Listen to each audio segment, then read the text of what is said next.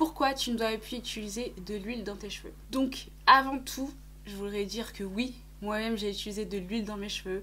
J'en ai utilisé beaucoup, voire beaucoup trop, tellement que mes cheveux étaient gras. Mais ça, c'était au début, quand j'apprenais à connaître mes cheveux. Maintenant, je suis beaucoup plus à l'aise. Je sais ce qui fonctionne, ce qui ne fonctionne pas pour mes cheveux. Alors, pourquoi il ne faut pas utiliser de l'huile dans ses cheveux et pourquoi l'huile n'hydrate pas les cheveux?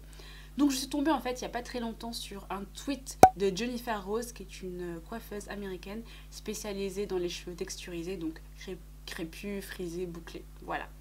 Et en gros, elle dit que l'huile n'hydrate absolument pas les cheveux, mais au contraire peut aggraver l'effet euh, qu'on peut ressentir un peu de, cheveux secs. Donc ce qu'elle préconise tout simplement, c'est de ne pas utiliser de l'huile. L'huile c'est un corps gras qui est non miscible à l'eau, ça veut dire qu'on ne peut pas mélanger l'huile avec de l'eau. Et pour hydrater les cheveux, nous avons besoin d'eau. Donc nous avons vraiment deux ingrédients qui ne pourront pas en fait, euh, qui ne fonctionnent pas du tout ensemble. Ils peuvent être complémentaires dans certains cas. Par exemple, si on veut éviter que nos cheveux attrapent de l'humidité, ça peut être intéressant d'utiliser de l'huile. Mais dans le cas contraire où on veut garder les cheveux hydratés, il ne faut pas utiliser de l'huile.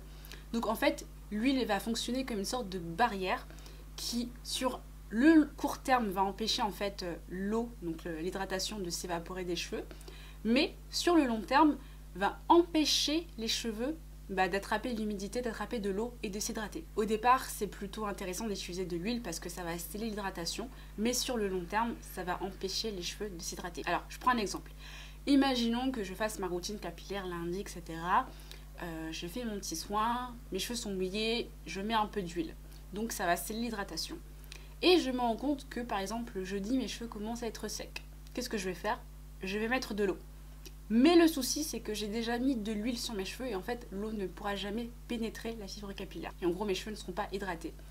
Le seul moyen de pouvoir les hydrater à nouveau, ce serait de faire un shampoing, de laver les cheveux pour enlever l'huile et ensuite pouvoir les hydrater. Donc si en plus vous lavez vos cheveux euh, par exemple toutes les deux semaines, bah, le problème en fait va persister et vos cheveux sont très secs. Donc ce que conseille Jennifer Rose, c'est tout simplement de refaire sa routine capillaire.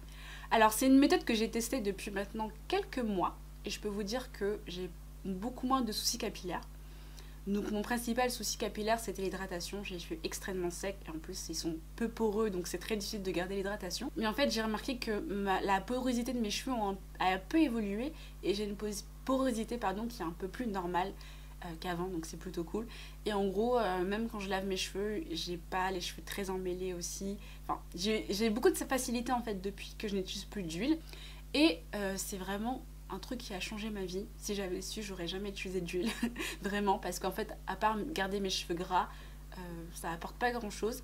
Sauf si, quand même, parfois, ça permettait de garder les cheveux, de l'hydratation. Mais sur du long terme, comme j'ai dit, euh, c'était pas du tout efficace.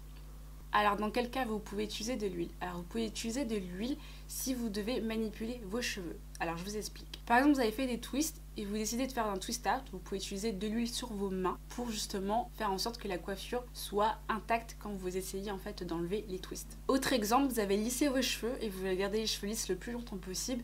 Utiliser une huile peut être intéressant également parce qu'en fait ça va... Euh, ça va repousser toute l'humidité. Alors vous pouvez utiliser aussi de l'huile quand vous faites euh, des nattes collées, euh, des brettes, etc., etc.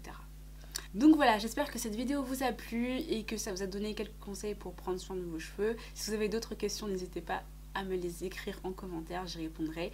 Et on se retrouve très prochainement pour une vidéo. Et n'hésitez pas à mettre un pouce en l'air aussi si vous avez kiffé la vidéo. Et puis euh, voilà, c'est tout pour moi. Bye